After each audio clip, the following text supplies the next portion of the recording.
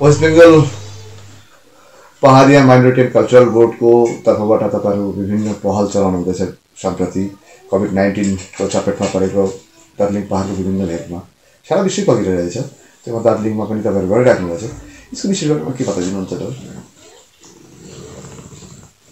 हेर्नुहोस् कोभिड नाइन्टिनले जुन महामारी ल्याएको छ यो हैजाले आज यो दार्जिलिङलाई खालि दार्जिलिङमा खालि दार्जिलिङ खरसाङ पाहाडलाई खालि यसले विश्वलाई नै तपाईँको छुइरहेको छ। र त्यस्तै हुँदा हाम्रो पाहाडकी रानी भन्ने गर्थ्यौँ हामी। दार्जिलिङ हाम्रो पाहाडकी रानीलाई पनि यस सकटमा आइरहेको छ। र लकडाउन भएको आज उन्नाइस बिस दिन पुगि पुग्न गइसक्यो। र यहाँ जो रोज महिरामा रोज कमाएर खाने हाम्रो जो गरिब दाजुभाइहरू छ उनीहरूको हालत दिनदिनै बिग्रिँदै बिग्रिँदै गइरहेको छ। र यसलाई हामीले कतै केही सुधार गर्न सक्छौँ। उहाँलाई खाद्यपानहरू दिएर हामीले त्यो रोक्नु सक्छौँ कि भन्ने हिसाबले हामीले यो चलपलहरू गरिरहेको छौँ।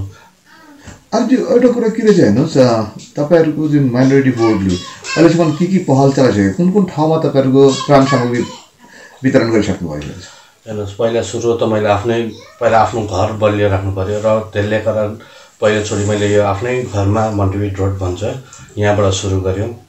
त्यसपछि हामी गयौँ हाम्रो आदिवासी बहुमत क्षेत्र से- फुट हिल्समा बस्ने गर्छ र उहाँको आर्थिक अवस्था एकदमै कमजोर भएको कारणले हामीले एउटा मोटिभेट गऱ्यौँ कि त्यो आदिवासी एरियामा गएर सिम्मलबारी भयो सिफ्टिगेरी भयो यी क्षेत्रहरूमा गएर पनि हामीले वितरण गऱ्यौँ त्यस लगातार फेरि दुई चार दिन पछाडि हामीले मिरिकका फुटिल्सतिर गऱ्यौँ। तपाईँको पानीघट्टा भयो चान्टा भयो धेरैवटा त्यस्तै कतिवटा जग्गाको नाम पनि याद भएन भित्रभित्र गएर र जुन चाहिँ लकडाउनको मोटिभ छ लकडाउनले गर्दाखेरि जस्तै मान्छेलाई घरभित्रबाट बाहिर ननिस्किदिने भन्ने सु हामीलाई भएको छ र हामी त्यसमै फोकस गरेर उहाँहरूलाई हामीले खाद्यपान गाउँमै घरसम्म लिनु पायो भने जुन चाहिँ बजारमा अहिले भिड भइरहेको छ त्यो भिडलाई पनि हामी कम्ती गर्न सक्छौँ कि भनेर कोसिस एउटा हाम्रो यसमा लागिरहेको छ। आउँदो दिनमा तपाईँहरू कुन कुन ठाउँमा फेरि रेसन डिस्ट्रिब्युसनमा मनस्थिर गर्नुभएको छ। हेर्नुहोस् अहिले त हामीले खरसाङ सब डिभिजन र मिरिक सब डिभिजन मोटामोटी गरिसकेको छौँ। यसरी नै पाहाडमा कालिम्पोङ जिल्ला पनि पर्ने गर्छ दार्जिलिङ पनि छ। यसले कारण पहिला हामी सायद यो सप्ताह आउनु सप्ताह हामी कालिम्पोङ जान्छौँ होला। कालिम्पोङका विभिन्न गाउँ बस्तीमा हामी पुग्छौँ। विशेष गरेर बस्ती भन्दा पनि हामीले विशेष गरेर कमानलाई फोकस गरेको छौँ। किनभने बस्तीमा त सागपातहरू उम्रि उम्रिरहेको छ र कमानमा त्यो सब फेसिलिटिज नभएको कारणले कमान बन्दीको कारणले हामी विशेष कमानलाई नै फोकस गरेर कमानका विभिन्न क्षेत्रहरू हामी घुम्नेछौँ अझै हेर्नुहोस् अहिले नि हालै तपाईँ जुन तपाईँ आरिफ खान भाइज्यू तपाईँको सबैले एउटा दार्जिलिङ पाहाडको तपाईँलाई गनी खान चौधरी भन्छ तपाईँलाई। पाहाडको गनी खान चौधरी भन्छ।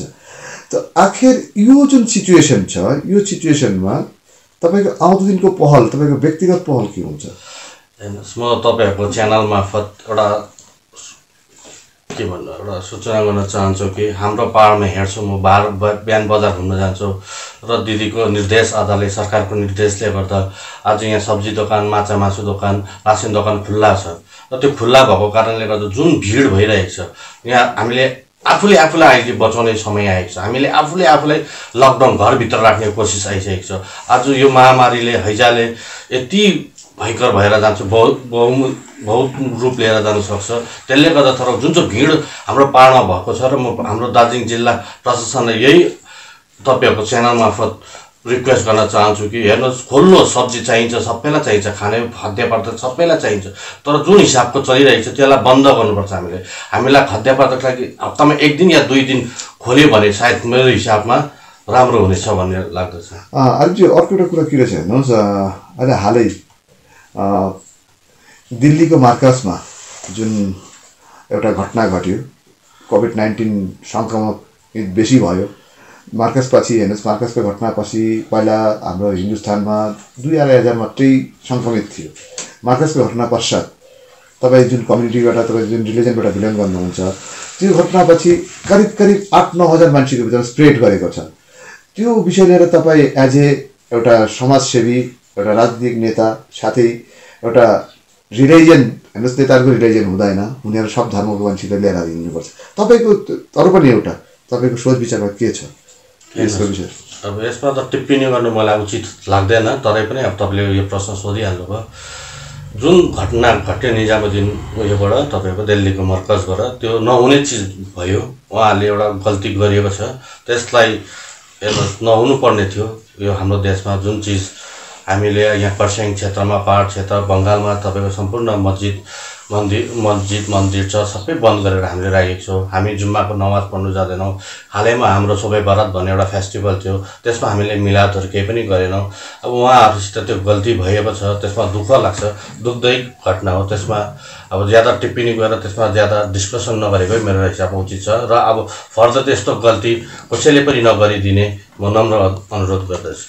अर्को अहिले तपाईँले जुन अनुरोध राख्नुभएको छ अहिले विभिन्न ठाउँमा तपाईँहरूको बोर्डद्वारा साथै आरिफ खानद्वारा जुन मान्छे एक्सपेक्ट गर्छ आरिफ खानसँग मतलब तपाईँसँग एउटा एक्सपेक्ट राख्छ मान्छेले तपाईँ हिल तृणमूल कङ्ग्रेसको दार्जिलिङ जिल्ला खरसाङ सब डिभिजनको प्रेसिडेन्ट पनि हो हजुर त्यो राजनीतिक व्यक्तित्व आरिफ खानले यो महामारीको सङ्कटको बेलामा के पहल चलाउनुहुँदैछ हेर्नुहोस् आजको दिनमा हामीले कुनै हिल तृणमूल गजा मोमो टू गजा मोमो वान बिजेपी जेएनएलएफ कुनै पार्टी कुनै जाति कुनै धर्म नभएर अहिले हामी एकजुट भएर हामी सबैजना घरभित्र बसेर लकडाउनको जुन चाहिँ पालन गरेर हाम्रो जग्गा हाम्रो I love Kurseong I love दार्जिलिङलाई चाहिँ सेभ गरेर राख्ने समय आएको छ।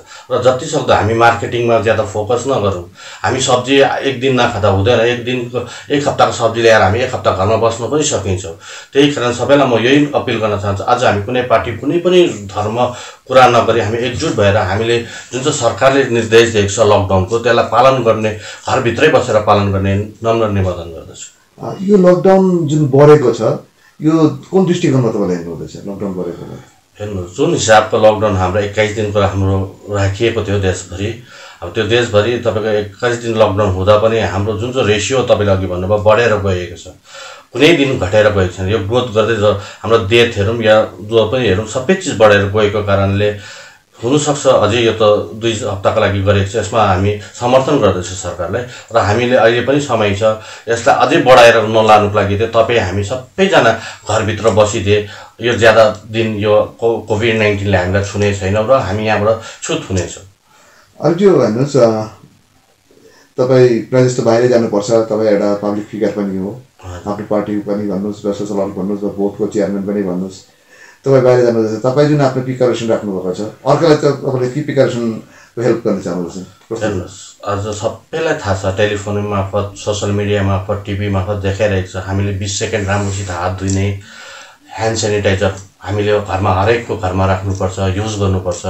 जहाँ जो प्रायः सबैको घरमा नानीहरू हुन्छ यो कोभिड नाइन्टिनले विशेष गरेर युथलाई भन्दा पनि हाम्रो नानीहरूलाई र ओल्ड एजहरूलाई छुने गर्छन् र उहाँहरूलाई ज्यादा उहाँहरूसित टचमा नबसिदिने उहाँहरूसित डिस्टेन्स राखेर उहाँहरूलाई केयरिङ गर्ने उहाँहरूलाई पनि टाइम टाइममा हात धुनु लाउने बिस सेकेन्डको लागि भए पनि बिस सेकेन्ड तिस सेकेन्ड हात धोएर मजाले पुस्ने टाइम टाइममा तपाईँको ह्यान्ड सेनिटाइजर युज गरिदिने अनुरोध गर्दछु।